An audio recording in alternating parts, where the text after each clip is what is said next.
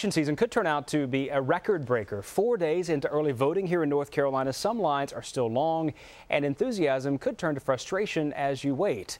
News Channel 36 reporter Mario Roldan finds out what Mecklenburg County has done to accommodate more early voters in this Decision 2008 report any day of the week, you have 20 early voting sites to choose from in Mecklenburg County. In the first three days of early voting, some locations have had shorter lines than others, like the one here at the CPCC North Campus in Huntersville. Well, I have my stopwatch out. I'm going to find out how long it takes for me to vote.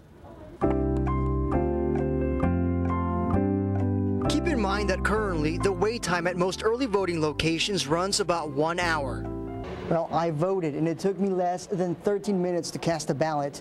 In all, Mecklenburg County election officials tell me that they've stepped up efforts when it comes to early voting to make it easier for you to vote. I think every site's been, been busy, busy, busy. To make room for at least 150,000 early voters, Mecklenburg County added eight more polling locations. Uh, last uh, presidential election, I don't think we had 12 sites. In the past, only few early voting sites opened on Sunday. This year, we've got all 20 sites open Saturday and Sunday.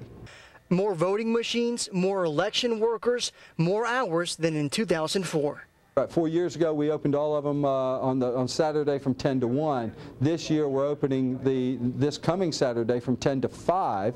A first-time early voter likes what she sees. We had like one person ahead of me, so I had absolutely no problem voting. Uh, make sure that you take a look at the sample ballot.